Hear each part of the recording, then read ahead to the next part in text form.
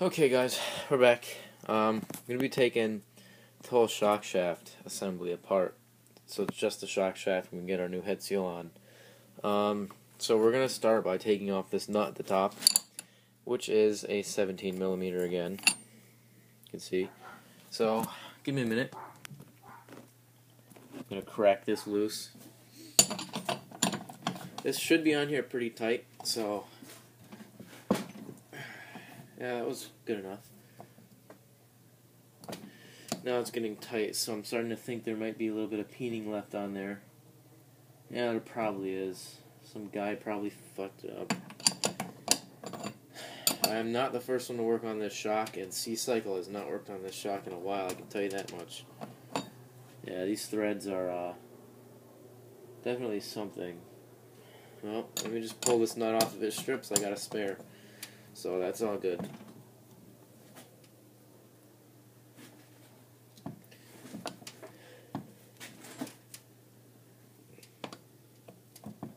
Kind of move it forward. I have no clue what's going on. If it's. I don't know. Well, we'll see.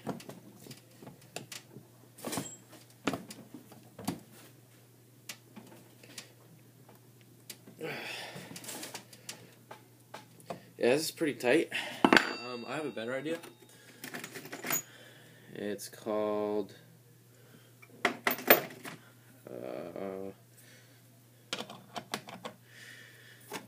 it's called an impact wrench and an air compressor. So you're gonna hear some noise for a little bit.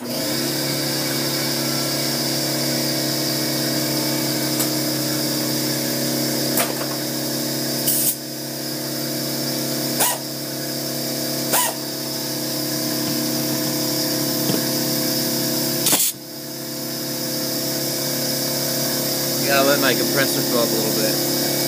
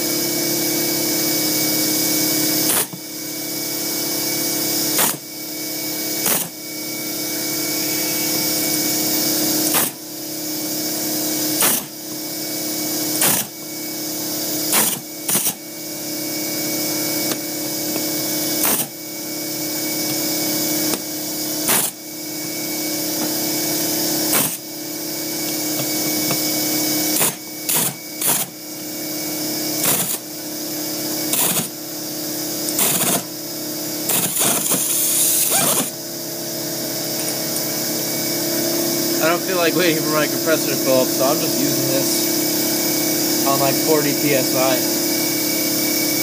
I'll let it fill up a little bit. This is really on there, like really, really tight. But I don't see the threads getting stripped or anything, so it's all good.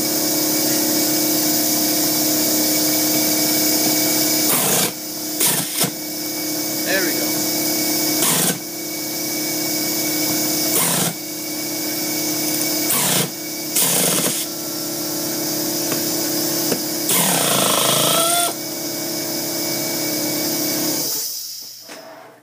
Ooh, that nuts.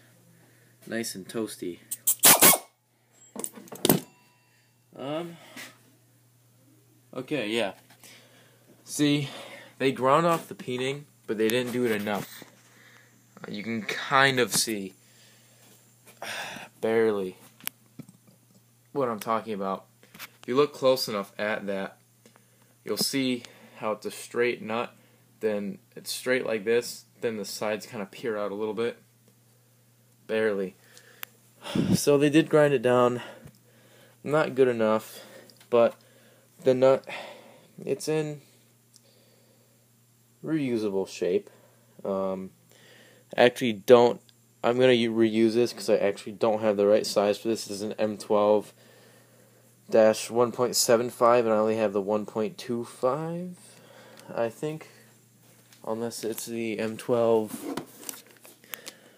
Yeah, it that's an M12 1.25. This is a 1.75. It won't work. Um, so, whatever. We got that off. Nothing's broken. That's good. Uh, now what I'm going to do is get out a little rag here and start throwing this stuff on the rag. So, what I do for this is what you should do. It's like the best idea Actually, here. Get some uh, baling wire or some craft wire or something. Mm, I have some in here somewhere. Just gotta find them. Or find it. Uh, maybe it's not here. Come on, where don't we? Shit go.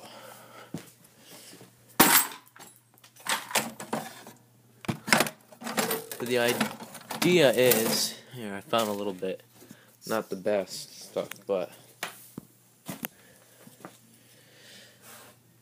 okay. So what you do is you get yourself some of that baling wire, eh, about yay long, and you cut it off with something. Of course, I'm not going to be able to find anything to cut this off with, or am I? Wait a minute. Hey, this ought to work, right?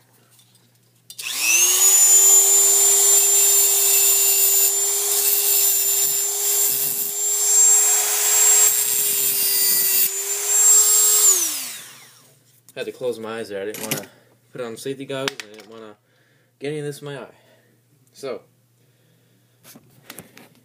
here's what we do take some of this and stick it in that little hole. Then, while I do this with two hands, you watch what I do. Pull up from the bottom and pull all of these up onto that wire.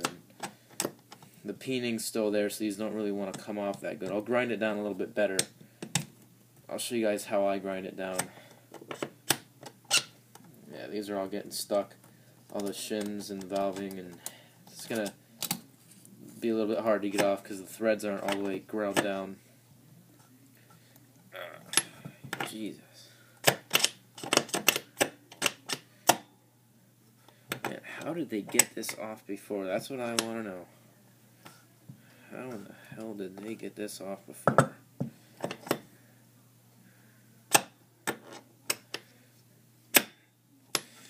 Okay, change of plans of course.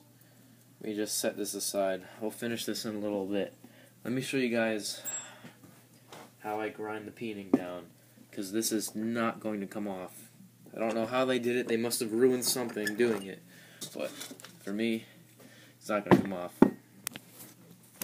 So, turn over to here, to my bench grinder. I'll show you. What I'm going to do, I'm just going to put it right up at the top here because you see this won't come off it's stuck on the thread. So I'm just going to grind the top threads down just a tad. I gotta turn this on. Gotta find the plug for it. That's gonna be the tricky part. Um, Alright. I got it. No, I don't. Yes, I do. Turn that on. Get some safety glasses.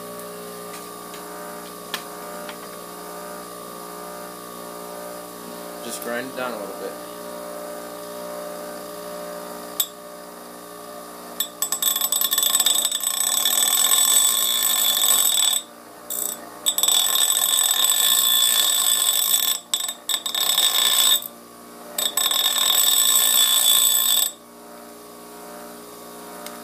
A little bit more.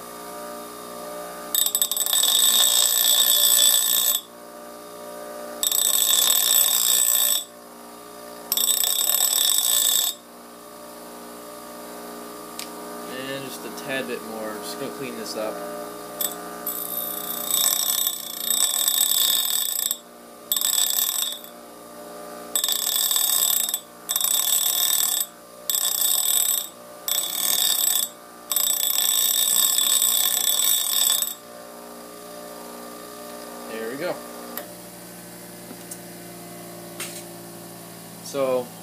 Since this is already ground down, I didn't do it this way, which is where you do it like this. You just push it and grind it down. I didn't do it that way. I just ground down the top two threads because we don't use them anyways, and then you can pull everything that you want right off. So let's get to getting this back together. Now, of course, this means that um, we're gonna have some metal shavings on this stuff, so you gotta clean it a little bit better, but who cares? So, we get our wire back in that little hole that I was talking about. And now, you just pull everything up onto that wire, comes right off. And then, take that wire, little stuff on it, and twist it. And now you know exactly how everything came off. No guesswork, losing all those little washers. You know, this is the top because it's got a thick washer, and that's the bottom. Pretty simple. Next, pull our head seal. Just comes right off. Bam. It's off. Stock head seal, I think. I think they just had, um, whoever built this, just had new seals put in from C-Cycle. They look like C-Cycle seals to me on a rebuilt stock head seal, so that's that. Then I'm going to slide the zip tie off. This is just trash for me right now.